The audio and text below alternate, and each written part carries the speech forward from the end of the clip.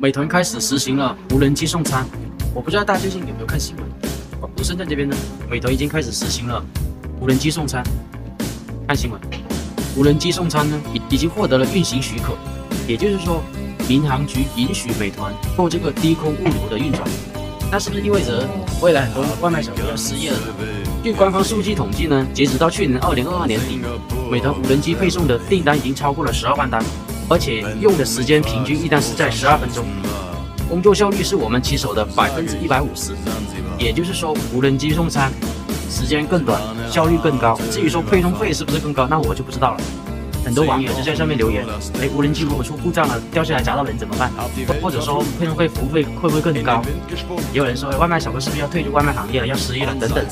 但是我相信呢，美团既然出现了这个无人机送餐，绝对不是昙花一现。既然新闻已经报道出来了，我觉得未来绝对会是一个大势所趋。可能未来这个无人机真的会代替美团骑手。至于说无人机能发展到什么样的一个程度，我们拭目以待。而且最近我不知道大家有没有留意到哦。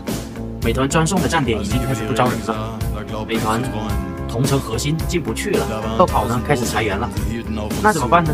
就全部涌到美团众包来，反反正美团众包的门槛不高，十八岁以上，五十八岁以下，会开电动车、会用智能手机就可以了。所以说现在美团众包的骑手呢，比去年又增加了两三倍，订单呢又比去年少之又少。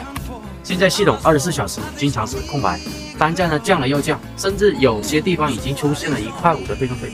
真的是卷了又卷，那肯定大家又说了，既然美团众包这么卷，为什么不选择建厂啊，或者是换其他工作？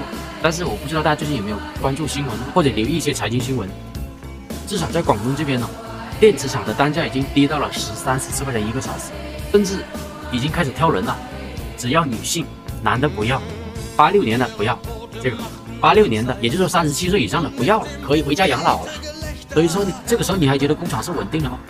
国家抗疫情三年，虽然说现在解放了，但是很多厂是没有订单的，甚至大量的裁员、降工价，甚至有些厂呢都发不起工资。